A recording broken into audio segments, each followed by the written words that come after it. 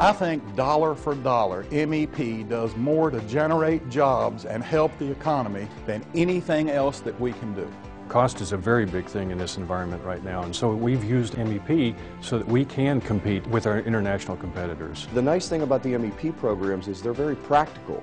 They can bring in at a reasonable cost to the manufacturers help that they need in a multitude of services. How do you figure out how to do something if you don't know how to do it? That's where I turn to the MEP.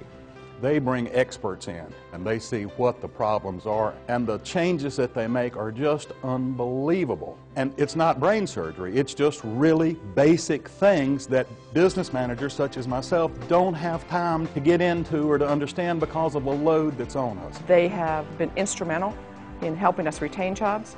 Uh, we've improved our productivity over 20%, and very honestly, um, had it not been for the help of the local MEP, we would have been we would have been closed. About two years ago, we were struggling to make money. We were losing actually quite a bit of money, and bringing them on has made a huge difference. We've actually had an increase in hires. Because of their efforts, because of what they've taught us to do, we've added an additional 40 jobs. I think manufacturing is a great source of jobs for the middle class. We need to be able to supply uh, jobs for people right out of high school. Not everybody wants to go to college. Manufacturing provides an opportunity for our middle class to, to be successful in life. Manufacturing is the base, it's the engine that drives the economy. It drives jobs, and factory floor jobs can be really good jobs.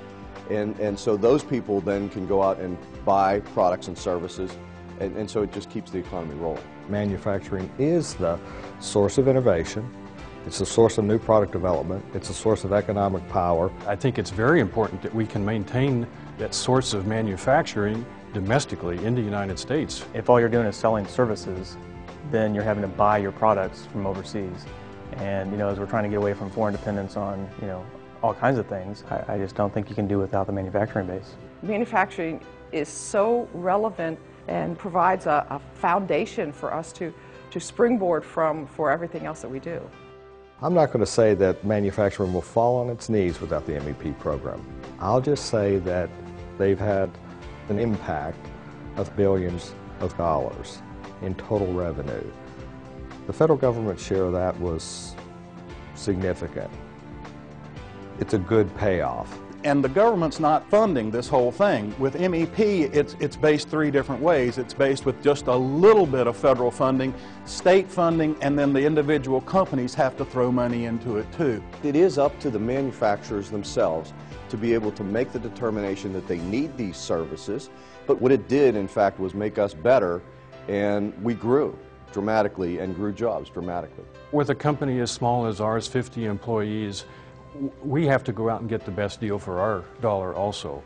And the, the, MEP was the best deal. In fact, we've used them for several years now because the return on our investment has been so good. It's been a real, really big success story for us, and uh, we're, we're real pleased. MEP is the very best way to create jobs in the United States and do it for the least amount of money, the most bang for the buck.